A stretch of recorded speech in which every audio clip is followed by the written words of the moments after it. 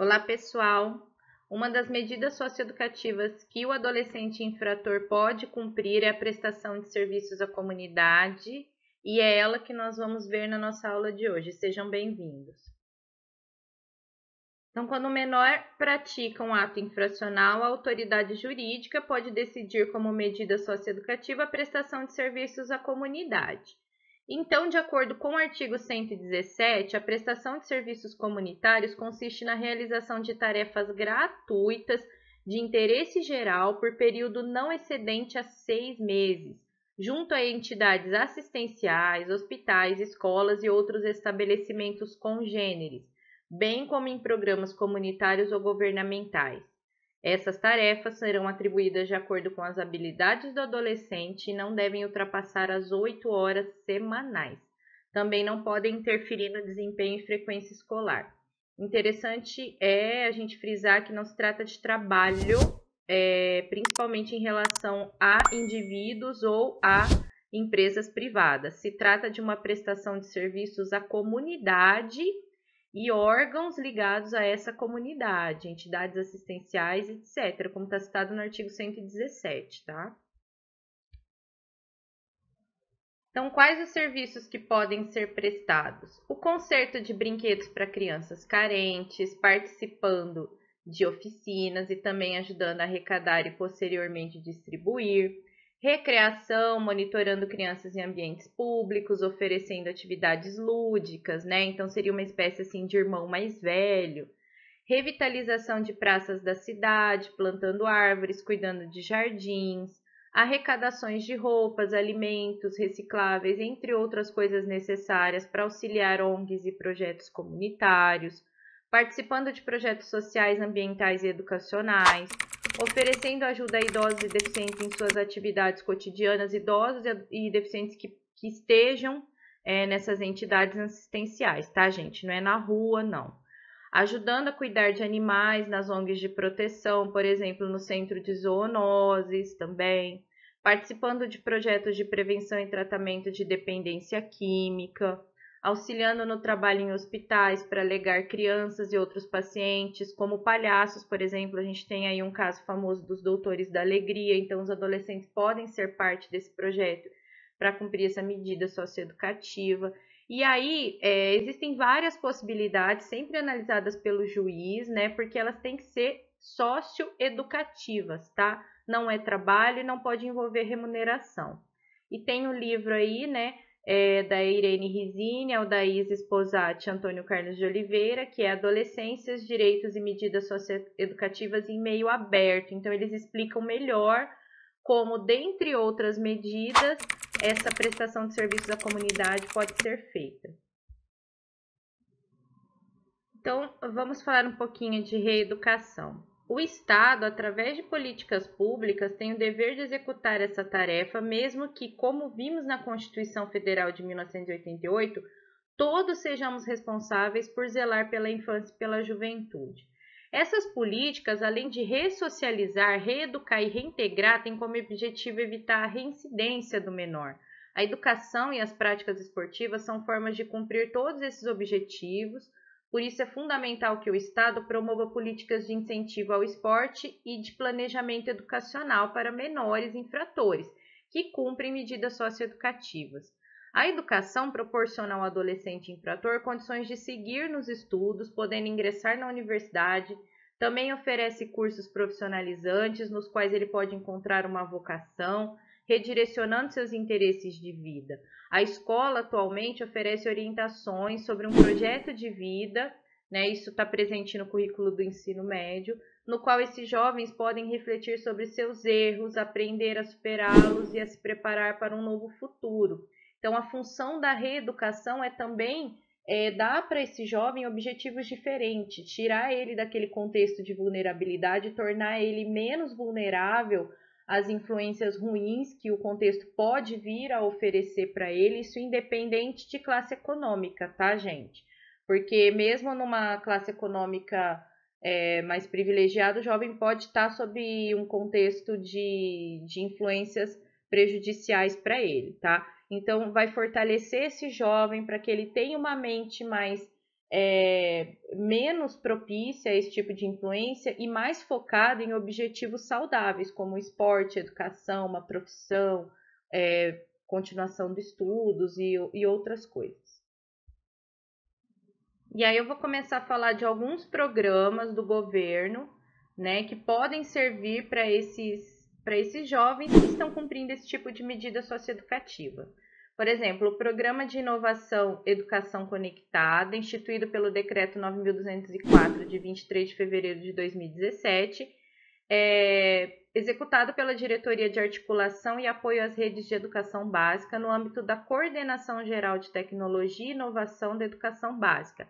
Tem por objetivo geral apoiar a universalização do acesso à internet em alta velocidade e fomentar o uso pedagógico de tecnologias digitais na educação básica. As principais metas são a universalização do acesso à internet em alta velocidade e fomentar o uso pedagógico de tecnologias digitais na educação básica. Então, é, nós sabemos que nem todos os menores têm acesso à internet, e se tem, nem sempre essa Olá, internet. peço desculpas por interromper sua aula por um breve momento, mas tenho algo importante e vantajoso para compartilhar com você. Se você está gostando desta aula, tenho uma ótima notícia. Agora você pode levar sua experiência de aprendizado para o próximo nível fazendo sua matrícula em nosso site.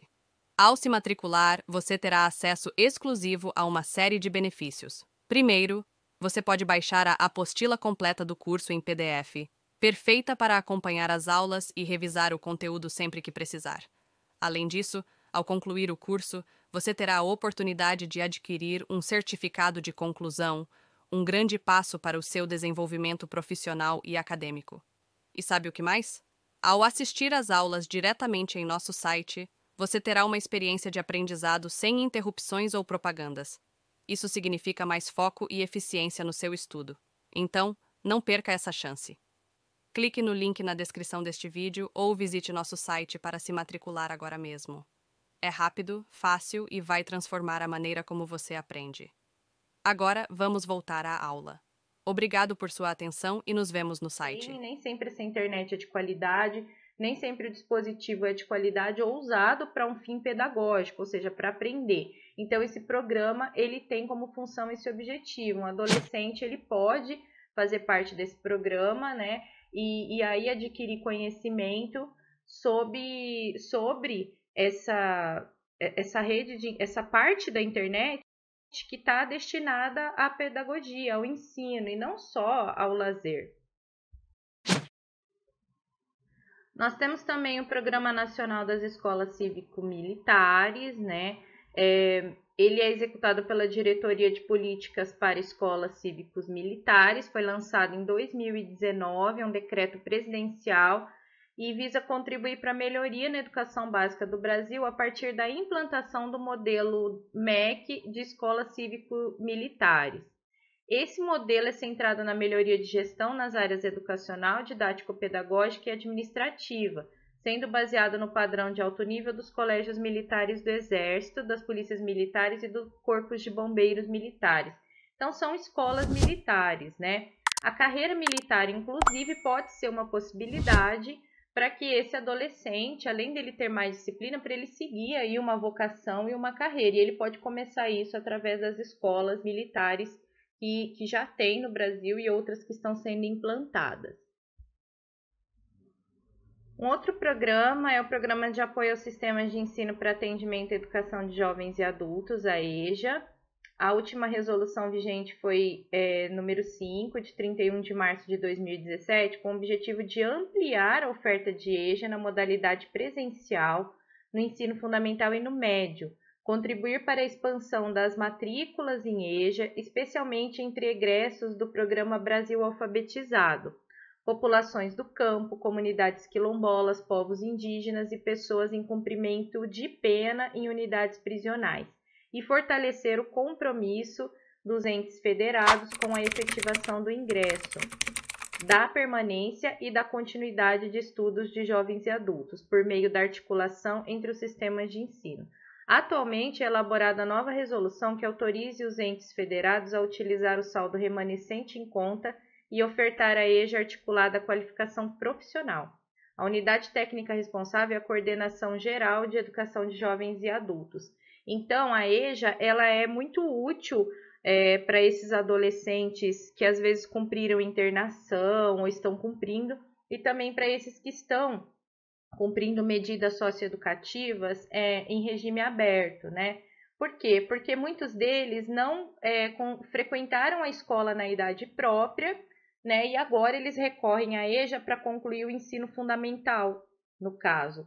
E seria interessante que eles cursassem o ensino fundamental e cursassem também o ensino médio, que fosse também profissionalizante, porque isso já é oferecido no ensino médio comum em muitas escolas e a EJA também pode contar com essa possibilidade. Então esse programa aí ele incentiva essas mudanças que são bastante benéficas para quem está cumprindo medida socioeducativa em meio aberto.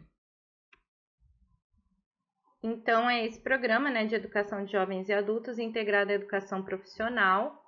É, ele define uma meta de oferecimento de no mínimo 25% das matrículas da EJA nas etapas do ensino fundamental e médio para quem sejam oferecidas de forma integrada à educação profissional. Então, constituem-se de termos de execução descentralizada com 12 institutos federais que se propuseram a promover ações de mobilização dos municípios, formação continuada de profissionais da educação, ofertas de cursos de educação de jovens e adultos integrados à educação profissional, curadoria e produção de conteúdos didáticos, monitoramento da permanência, pesquisa e inovação. Então, esses institutos federais, eles vão ficar responsáveis aí por uma uma grande quantidade de procedimentos para a implantação desse tipo de EJA.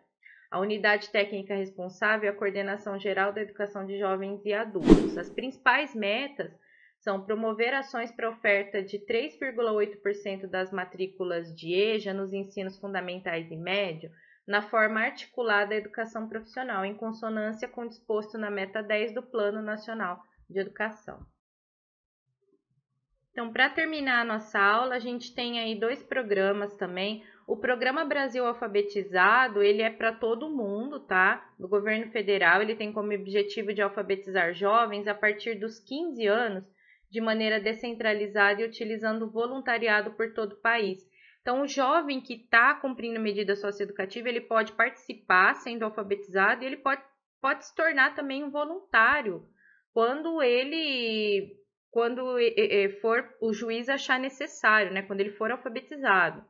As turmas de alfabetização são divididas entre rurais e urbanas, tendo um número mínimo de 10 e máximo de 25 alunos. E no caso de alunos com necessidades educacionais especiais, cada turma pode comportar até três alunos. É um programa bastante amplo e que pode contar com a participação desse adolescente cumprindo medida socioeducativa. O programa Saúde na Escola tem como objetivo promover a saúde, prevenir doenças e agravos à saúde de adolescentes e jovens da rede pública de ensino, a partir da articulação entre educação e saúde. Uma das ações desse programa é a formação continuada dos professores da educação básica, a fim de que promovam atividades de promoção da saúde. Então, o jovem, o juiz pode estipular que ele seja um voluntário na divulgação dessas informações, né, é, de benefícios à saúde e ele participe desse programa aí para cumprir a medida socioeducativa. E aí, tudo bem? Estou passando apenas para deixar um recado bem rápido para você que acabou de ver essa aula e que gostaria de assistir a todas as aulas desse curso. É bem fácil, basta você clicar no link que está na descrição deste vídeo ou acessar www.novacursos.com.br. Fazendo sua matrícula em nosso site, você terá acesso a todas as aulas desse curso e mais centenas de outros cursos, além de poder fazer avaliação. E caso você queira, poderá estar adquirindo o certificado com um valor bem acessível. Esse foi o recado que eu queria dar. Aguardo sua matrícula. Até breve.